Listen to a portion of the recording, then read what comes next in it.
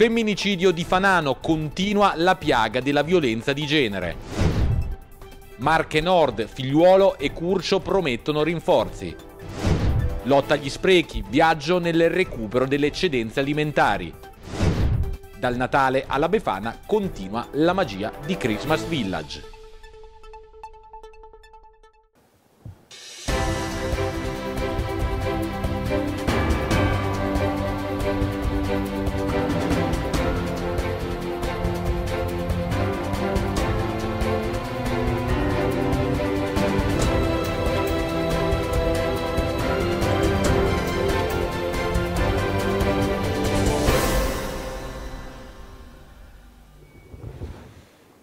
Una buona serata a tutti voi telespettatori e telespettatrici di Rossini TV che ci seguite sul canale 633 del digitale terrestre. Ben ritrovati a Rossini News, il nostro notiziario serale che in questa edizione di martedì 28 di dicembre apriamo rimanendo sul barbaro delitto di Fanano di Gradara l'omicidio la notte di Natale, ne abbiamo parlato ieri con i dettagli del femminicidio di Natalia Kiriciok, la 61enne uccisa dal marito Vito Cangini di 80 anni, uccisa in casa dopo eh, storie di gelosia e addirittura un rifiuto a fare sesso. Una storia terribile che ieri vi abbiamo raccontato e che oggi cede il passo alla riflessione, alla punta dell'iceberg di un femminicidio che chiude un biennio di storie di violenza di genere, un biennio molto complesso in questo periodo di pandemia. Ne abbiamo parlato con l'avvocato Laura Martufi, presidente uscente dell'associazione Percorso Donna, ma tuttora responsabile della formazione ci troviamo a eh, in qualche modo dover prendere atto del fatto che queste, ehm, questi eventi accadono anche molto vicino a casa nostra. Quando avvengono eh, così vicino ehm, risuona mh, in maniera molto forte la necessità di continuare eh, a mettere in campo azioni efficaci di contrasto alla violenza. Eh, ci ricorda che non sono, eh, non sono i femminicidi eh, cose che succedono lontano da noi, che continuano ad accadere all'interno delle mura domestiche e familiari e quindi eh, che questa, che, questa, violenza necessita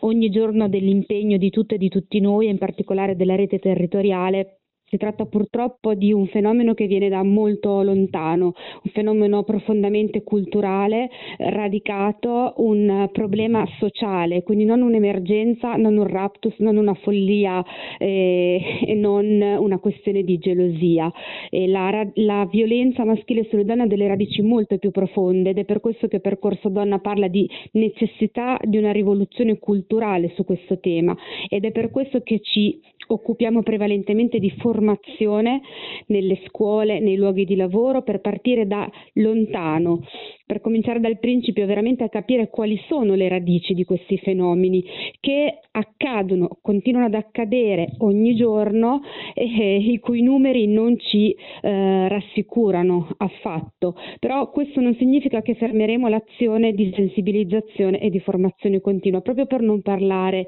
di gesti così vicini alla follia, non è questo uh, ciò che sta alla radice di un femminicidio.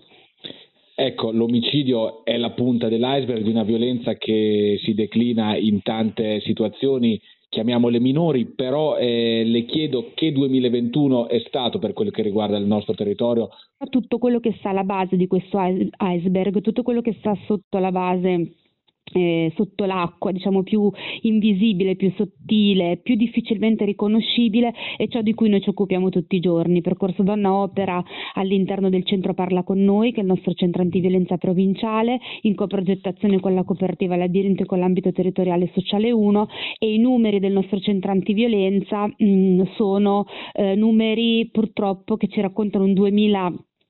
e 21 in cui gli accessi eh, sono eh, aumentati, soprattutto a seguito del, di quello che è stato il lockdown. Gli ultimi due anni sono stati due anni che hanno colpito in maniera molto forte le donne, soprattutto quelle costrette a casa all'interno di mura domestiche di certo non sicure. Quindi le forme di violenza che ehm, vengono raccolte, vengono ascoltate, vengono ehm, supportate all'interno del centro antiviolenza sono le forme di violenza più varia, eh, certamente la, la, violenza fisica, ma non dobbiamo mai dimenticare che di solito nella maggioranza dei casi quando una donna è vittima di violenza fisica è eh, molto spesso vittima anche di violenza psicologica, di violenza economica, eh, di violenza sessuale quello che Percorso Donna sempre intende rimarcare è che dalla violenza si può uscire, si devono continuare a sostenere le donne che scelgono di intraprendere un percorso di uscita dalla violenza perché eh, da qui in avanti insieme non ci si debba trovare a eh, commentare come purtroppo oggi stiamo facendo un uh, femminicidio, ma uh, storie di donne che riescono a uh, uscire da quella che è la spirale della violenza e dopo qualche giorno di tregua per il ridotto numero di tamponi delle festività torna a alzarsi la cresta della quarta ondata di Covid-19 nelle Marche. Oggi per la seconda volta in questa quarta ondata si sono superati i mille contagi in un giorno. 1098 per essere precisi, di cui 135 nella provincia di Pesaro e Urbino. Il tutto a fronte di più di 13.000 tamponi processati. L'incidenza di contagio si attesta ora a 365 casi ogni 100.000 abitanti. Aumentano di altre 9 unità i ricoveri che salgono a 254 ma restano invariate le terapie intensive con 42 pazienti in degenza. Purtroppo si registrano altri 4 decessi, una donna e tre uomini di età compresa fra 76 e 87 anni. E resta caldo l'argomento della carenza di personale a Marche Nord, una problematica emersa fino alla ribalta nazionale anche grazie all'impegno del sindaco di, Mon di Monbaroccio, Emanuele Petrucci, che ha contattato a tal proposito il capo della protezione civile nazionale, Curcio, che ha promesso rinforzi per Pesaro. Il polverone mediatico che ha coinvolto l'ospedale di Pesaro nelle ultime settimane è diventata una notizia di interesse nazionale. A diffondere, al di fuori dei confini regionali, la problematica che tuttora riguarda l'azienda ospedaliera di Marche Nord ci ha pensato il sindaco di Monbaroccio Emanuele Petrucci, che si è rivolto giorni fa alle autorità competenti. Ho scritto sia a Figliuolo sia a Curcio per chiedere il loro sostegno e sulla base delle capacità che hanno, quindi sugli approfondimenti che figure autorevoli come loro possono eh, e debbono intraprendere. Eh, io ho scritto il 23 ed è stato gentilissimo l'ingegner Curcio a rispondermi telefonicamente il 24 chiamandomi la vigilia di Natale e facendo presente che ne avrebbe parlato sia con Figliuolo sia con Saltamartini. Purtroppo questa è forse una delle tante punte dell'iceberg che eh, purtroppo sulle quali dobbiamo fare fronte non ritenevo più oh, ammissibile quanto, fosse, quanto stesse succedendo a Marche Nord e di un percorso che purtroppo a Marche Nord ho denunciato già più volte perché ci ritroviamo con 23 professionisti l'anno scorso, oggi sono solo 13 in un periodo pandemico che sapevamo benissimo che ci avrebbe visto coinvolti in una terza ondata ed un personale che è sotto pressione in una maniera devastante. E questa sottopressione, questa pressione cui verte il personale naturalmente grava sui pazienti e sui familiari dei pazienti, cosa che non possiamo come sindaci eh, ovviare, non, sulla quale non ci possiamo più girare dall'altra parte. Una situazione complicata non solo per i cittadini del comune di Pesaro, ma anche per gli abitanti dei comuni limitrofi, come lo stesso Petrucci ha sottolineato. Tutti i comuni sono coinvolti, tutta la sanità riguarda la provincia di Pesaro Urbino e non solo la città di Pesaro, e dico solo non soltanto perché è la più numerosa o che riguarda solo il sindaco di Pesaro, ma tutti i sindaci sono responsabili dei loro territori e della salute dei loro territori. Quindi l'ospedale a Pesaro, come l'ospedale Urbino, come tutti gli ospedali che abbiamo sul territorio, hanno necessità del coinvolgimento di tutti i sindaci gli sprechi alimentari sono una tematica davvero spiacevole e che rischia spesso di acuirsi proprio in questo periodo di festività. Oggi abbiamo voluto approfondire questo argomento andando ad accendere le nostre telecamere alla Onlus Gulliver di Pesaro che è impegnata nel recupero delle eccedenze alimentari. Vediamo quello che si sta facendo e ascoltiamo quello che si potrebbe fare. Ci troviamo al centro del riuso di Via Toscana, un luogo dove gli oggetti trovano una nuova vita, ma non solo, un luogo anche dove c'è spazio per evitare sprechi di eccedenze di cibo, sempre molto problematica questa tematica, soprattutto nel periodo natalizio, un periodo di maxi consumi alimentari e ci troviamo proprio nel magazzino del reparto alimentare della Onlus Gulliver. Qui vengono radunati tanti cibi da diverse direzioni su tutte, quella della Fondazione Banco Alimentare, ma poi altre situazioni come quella della comunità europea con il marchio FEAD, le fondazioni, i privati, tante situazioni per evitare sprechi e destinare questi cibi che andrebbero buttati a chi ne ha più bisogno. Il Covid ha accentuato la difficoltà, quindi il bisogno delle famiglie. Purtroppo abbiamo visto che le persone che donano o i commercianti che donano sono sempre in diminuzione purtroppo e questo è, ci mette in difficoltà sia noi che gli altri enti che distribuiscono in città. Un sistema di recupero cibo davvero organizzato in cui nulla viene lasciato al caso. Li vedete qui con me i raccoglitori con i nomi dalla A alla Z delle famiglie seguite dalla Gulliver. Tutto qui viene registrato. Cosa viene donato, in quali quantità e in quali tempistiche. Abbiamo due, due, due stanze, un magazzino più una stanza di distribuzione e attualmente forniamo 180 famiglie, quasi 400 persone di un pacco cibo settimanale. Diciamo che a Pesaro le realtà che ci sono fanno un ottimo lavoro. In altre città, dove anche il comune mette del suo e gli esercenti mettono del loro, riescono a recuperare a fine giornata tantissime cose. Pensiamo solamente a un esempio, le grandi città, Bologna, Milano e anche Roma, dove il comune dà uno sgravio della Tari ai commercianti che partecipano. Perché non farlo anche a Pesaro? Dovremmo sederci tutti quanti intorno a un tavolo, in primis il comune, gli altri enti e i commercianti, per trovare un modo, un percorso per poter recuperare tutto quello che la sera gli esercizi buttano via, cose che sono buone, sono buone anche per il giorno dopo, che sono utili e che in una Pesaro del 2022 nei quartieri nostri residenziali, quartieri per bene, vedere le persone che vanno nei bidoni, frugano con le mani, tirano fuori il pane, le verdure è una cosa non, non esiste, non si può vedere, è una cosa che non ci deve essere. Un lavoro, quello del recupero del cibo, del riuso degli oggetti, reso possibile solo grazie al lavoro di un esercito davvero di volontari che si impegnano quotidianamente in questa missione. Tanti, circa 300 ragazzi, sono quelli che sono riconducibili ad esempio ai progetti di alternanza scuola-lavoro PCTO. In pratica la scuola eh, permette al, agli alunni di partecipare ad esempio a corsi che possono essere a scuola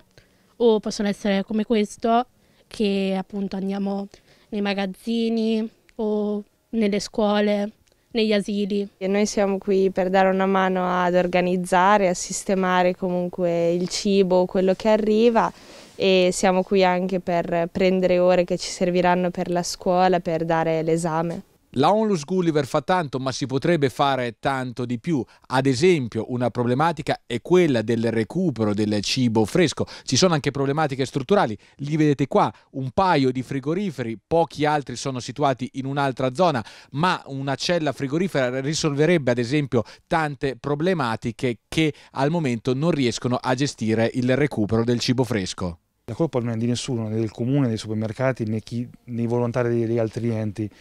la colpa forse è anche nostra perché è ora di sedersi, di ripeto, intorno a un tavolo e creare un percorso virtuoso di recupero alimentare.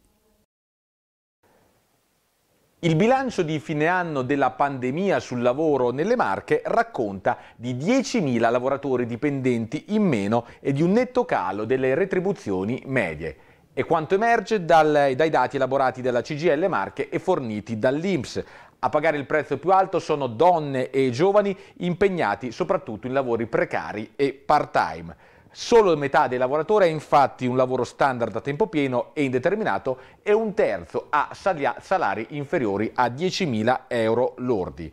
Nelle Marche risultano occupati quest'anno 423.000 lavoratori dipendenti privati, in netto calo rispetto all'anno precedente, con oltre 10.000 lavoratori in meno, in meno pari a un meno 2,4% che è dato in linea al trend nazionale.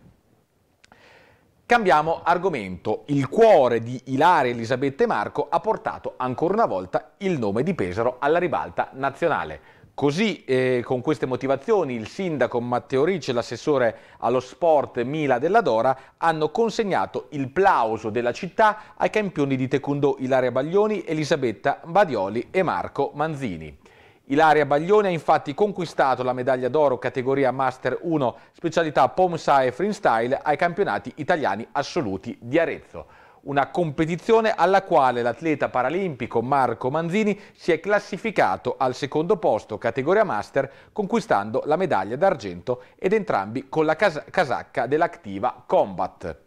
Podio anche per Elisabetta Badioli, pesarese della Taekwondo Olympic Cattolica Riccione, proclamata vice campionessa europea juniores dopo l'ottima prestazione ai campionati di novembre di Sarajevo. Atmosfere delle festività che si respirano a ritmo di gospel in provincia di Pesaro Urbino, a cominciare da San Costanzo dove domani 29 dicembre alle ore 21 al Teatro della Concordia si esibirà il complesso Gospel Times con Joyce, Will, Ken Bailey, Giulia St. Louis, Josie Saint-Emé e Michele Bonivento. Domenica 2 gennaio invece alle 15 al Teatro Sperimentale di Pesaro, altra esperienza autentica e di grande gioia con Nemeia Brown e The Gospel Spirit, un gruppo composto da 5 cantanti e 3 musicisti che rappresentano una delle più importanti formazioni musicali nella scena della musica afroamericano presente in Italia. E ora ehm, parliamo di quella che è stata probabilmente la grande novità del Natale pesarese, ovvero il Christmas Village, il villaggio di Natale partito da fine novembre in piazzale Matteotti e che resterà aperto tutti i giorni fino all'Epifania. Il nostro Edoardo Orazzi ci porta alla scoperta di quest'angolo di magia natalizia.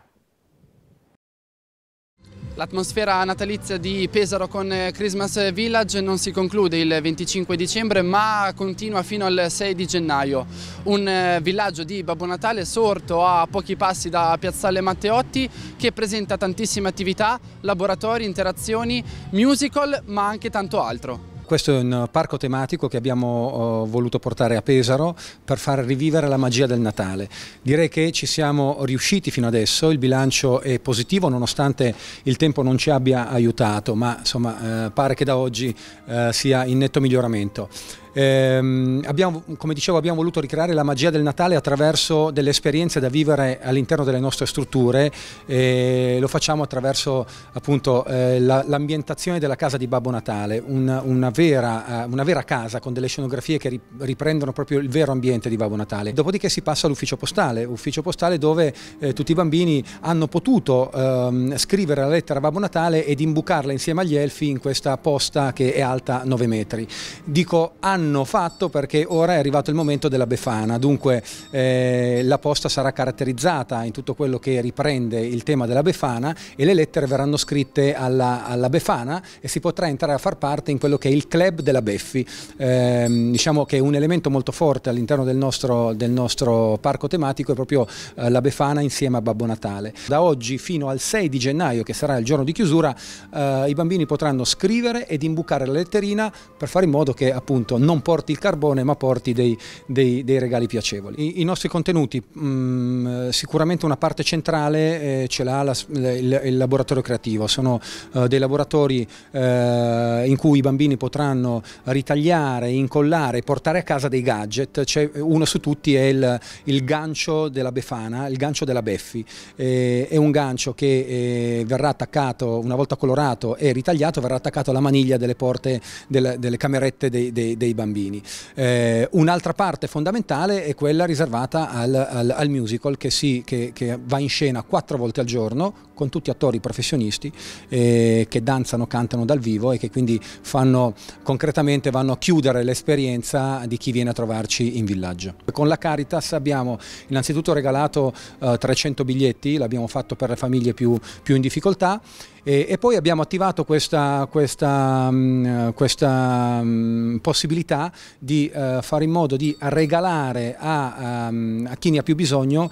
un piccolo regalo uh, con una dinamica molto semplice. Quando vai a comprare un dono per un tuo caro ricordati che aggiungendo qualcosina ne puoi comprare un altro, sempre nuovo ovviamente, eh, da portare in villaggio e noi lo facciamo avere poi nei giorni a seguire a, mm, a, a tutti insomma, i visitatori della Caritas che sicuramente apprezzeranno eh, con con cuore questa, questa iniziativa. E anche oggi proseguiamo il ciclo di interviste del nostro Giorgio Ricci che ci porta ad approfondire diverse realtà pesaresi attente ai malati e alle categorie fragili. Ci siamo occupati ad esempio della Fondazione Fattori, dell'associazione Noi Come Prima e oggi approfondiamo l'impegno di Casa Moscati in favore dei malati di AIDS.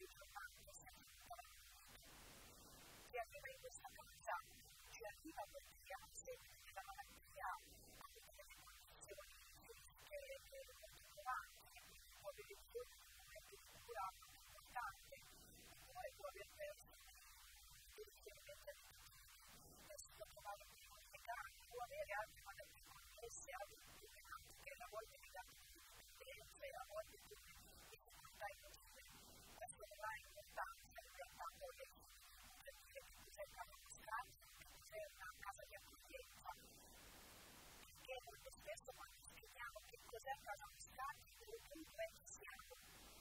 casa Moscati è, sono delle persone, siamo noi operatori,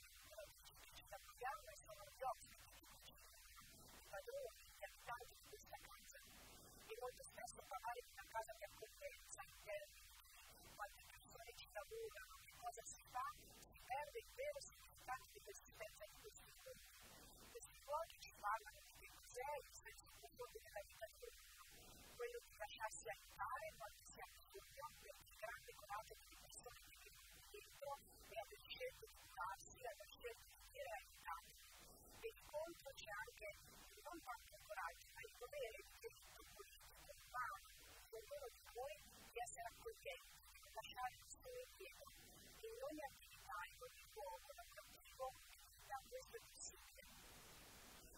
che poi lì a casa non a volte non si vede che cosa succede. Succede quello che succede nella vita di tutte le case, ci si prende cura delle malattie, ci si prende cura dei momenti belli, delle difficoltà, si cercano di raggiungere obiettivi. I nostri ospiti dicono sempre una cosa, la vita non è fuori, la vita è anche dentro.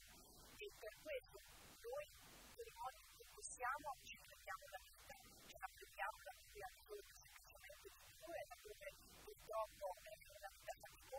abbiamo anche divertimento, l'affetto e il coraggio di non di controllare la mente. È anche vero che in caso di stati sopravvive e va avanti, grazie anche a un finanziamento, a dei redditi che non sono dati e questo permette anche una qualità di cure della gestione di una società comunque impegnativa. Al contempo, diverse che ci vediamo contati nel contesto della e anche nostra, perché non è semplice spiegare che persona che vero progetto, spago, è la gestione di una casa, degli ambienti belli, e questo molto poi è il gesto economicamente, poi queste specie anche con la di tante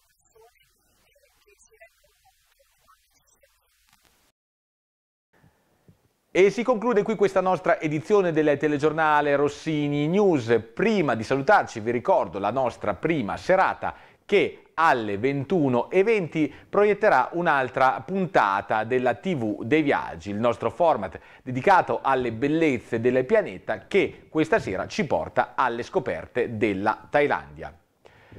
in tanti ieri sera ci avete seguito con la finalissima di Masterfish, il nostro programma Il pesce va in onda che è giunto all'atto finale. Per chi si fosse perso la finale di ieri non riveliamo nulla perché c'è la possibilità di,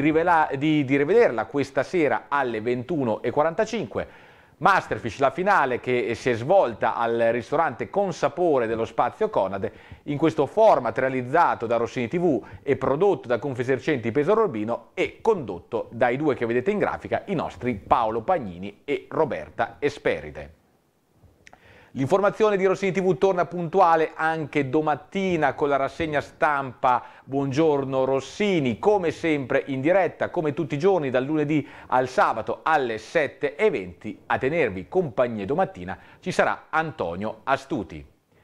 E dall'informazione passiamo all'app, l'app di Rossini TV che è uno strumento sempre utile per restare informati, per rivedere i programmi, per consultare la nostra programmazione o semplicemente per inviare segnalazioni alla redazione, un'app che dunque vi invitiamo a scaricare e vi invitiamo anche a continuare a seguirci con i programmi di Rossini TV perché si conclude qui questa nostra edizione delle TG. Da parte mia e di tutta la redazione vi auguro un cordiale saluto e una buona continuazione di serata con i nostri programmi.